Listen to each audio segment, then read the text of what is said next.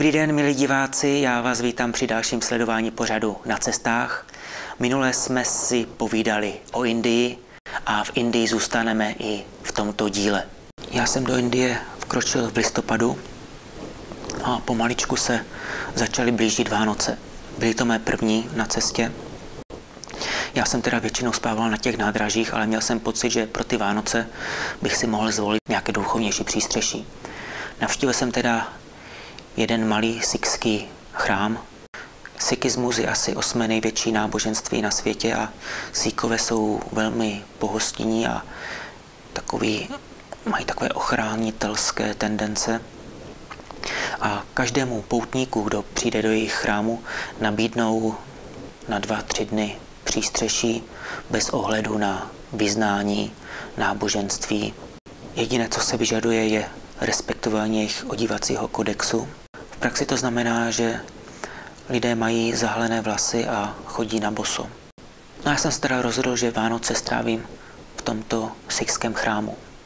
Když jsem se potom loučil, nechal jsem představenému malou dotaci ve výši, kterou bych nechal někde na hotelu, ale i tak to bylo mnohem zajímavější než nějaký hotelek nebo guesthouse. No a když jsem na ty Vánoce opouštěl chrámový komplex, tak aniž bych to tušil, tak jsem si odnášel nechtěný dárek. Po pár dnech mi začalo vrtat hlavou nepříjemné svědění kštice.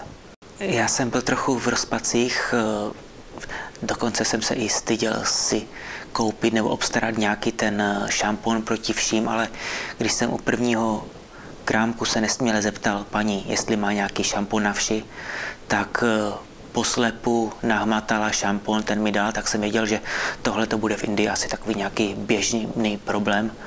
Odebral jsem se na nádraží, kde jsem se pravidelně mil. Hned jsem zamířil do umývárny, do sprch a to bylo zrovna ráno. No a je nutno podotknout, že Indové jsou velmi čistotní a mí se právě, právě ráno. Takže po probuzení jak je spousta Indů v těch čekárnách, tak najednou se všichni nahrnou do koupelny a tam jsou před sprchama dlouhé, dlouhé fronty. Já jsem vešel do sprchy, odstrojím si věci, nebo když jsem se stačil odstrojit, tak už se začal ozývat klepání na dveře, že už tam jsem dlouho. A teď jsem se zhrozil, protože tam je psáno, že šampon musí působit 20 minut. A říkám, no tak nic, už jsem tady, tak jsem si tu hlavu šampon nanesl na hlavu a teďkom se začaly ozývat eh, údery do dveří, údery střídaly kopance, nadávky, výhrušky. No a trvalo snad celou hodinu, než ta sekundovka 20krát oběhla ciferník. Spláchl jsem vlasy, no a teď jsem měl normálně strach z té sprchy výjít ven. Jedna sprcha měnila uživatele každou minutu a ta, ta druhá byla zablokovaná snad na půl hodiny. Opatrně jsem otevřel dveře a teďkom celá ta umývárna byla plná lidí. A oči všech zabnuté do mě. Každý byl zvědavý, cože to vyjde za člověka z té sprchy, který 20 minut, půl hodiny ignoruje veškeré nadávky, výhrušky a kopance do dveří najednou se udělalo hrobové ticho a ten dav, který tam byl, najednou začal tvořit uličku. Já jsem měl snad pocit, že mě začnou linčovat. Nejíval jsem se vlevo, vpravo, proběhl jsem davem, rychle jsem odepl svůj batoh, který jsem měl připnutý ocelovým lánkem k hlavičce a zmizel jsem z čekárny. No a protože se tato kůra musí opakovat dvakrát nebo třikrát, tak příště už jsem si volil jinou denní dobu. Pokud bych měl v Indii doporučit jediné místo k návštěvě, určitě by to nebyl ani Taj Mahal, ani historické památky v okolí Díly, ale bylo by to Varanasi. Varanasi je jedno z nejdéle obydlených míst na světě a je možná starší než legendy popisující jeho vznik. Ve městě se rodilo umění, věda i filozofie a dnes se tyto obory učí na čtyřech univerzitách. Město je tedy kolebkou indické kultury, hudby a umění. Je to také místo spirituálně velmi spjaté s posvatnou Gangou a jejími gáty. To jsou vlastně takové kamenné schodišťovité stupně sestupující k řece a každé ráno zde tisíce poutníků podstupují očistnou koupel. A po tisíce let lidé přijíždějí zde vykonat i pouť poslední. Zřejmě nejznámější gát je Manikarnika.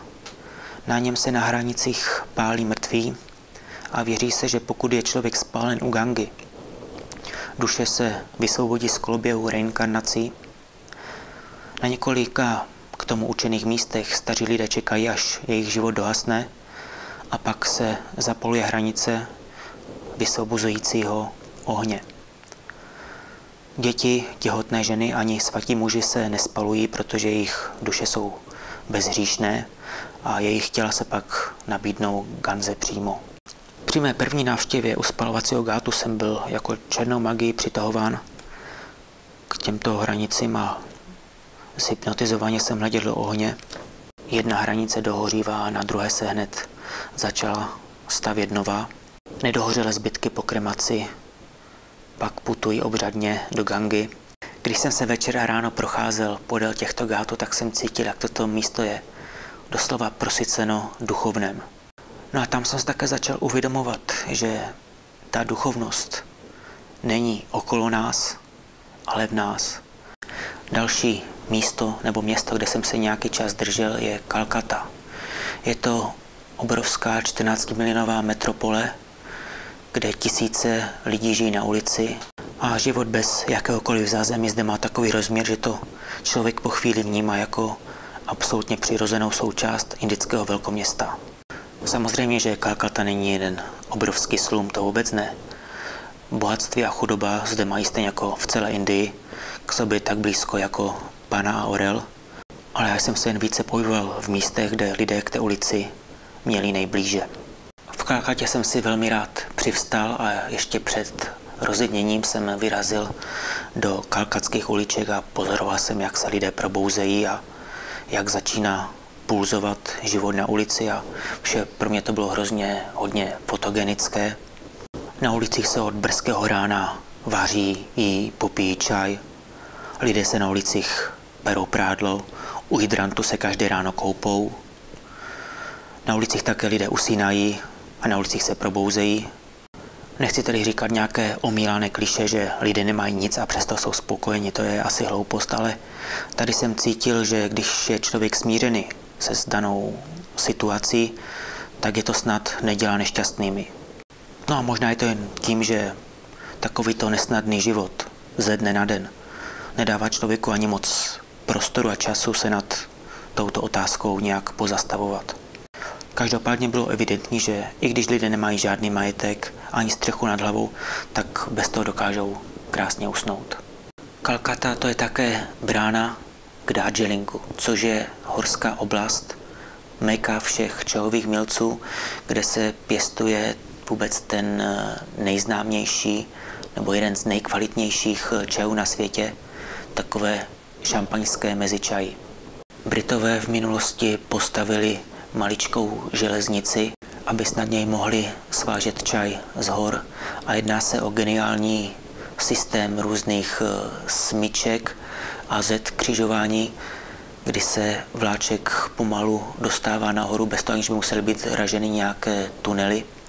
A tato maličká parní lokomotiva je v provozu do posud. Takže z Kalkaty jsem se dopravil do Šiligury, odkud tato úzkokolejná železnice se drápe v délce 80-90 km do výšek a nastoupá přes 2000 metrů. A když se vláček pomaličku drápal nahoru, tak jsem pozoroval po svazích nádherné čajové plantáže. A už jsem se těšil, až v Darjeelingu si sednu do nějaké čajovny a budu s výhledem na hory popíjet nějaký lahodný, lahodný zelený čaj.